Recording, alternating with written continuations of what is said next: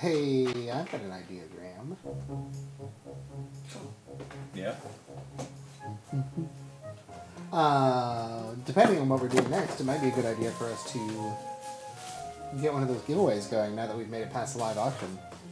We'll have to wait for comps to return. Ah, that's a good idea. Um, We can talk we'll have to wait sign for the entire back table almost to return. We actually haven't touched on the silent auctions yet. I we said got a new almost. batch.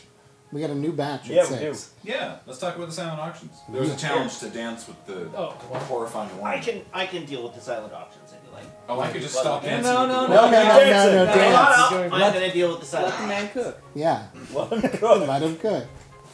Eventually.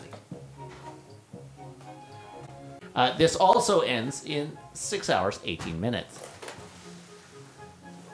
What's up? I, w- I want to give credit to Graham here, who did continue dancing that entire time Yep. despite not being visible to any of you out there. The intention did, but you never stopped. Yeah. Yes. Yeah. I may not have been putting my full ass into it, but Yeah. movement was occurring, and now I have a solution for this too. Yeah. Hands-free. Ah. There is something I want to see though, Graham. What's that? Crap.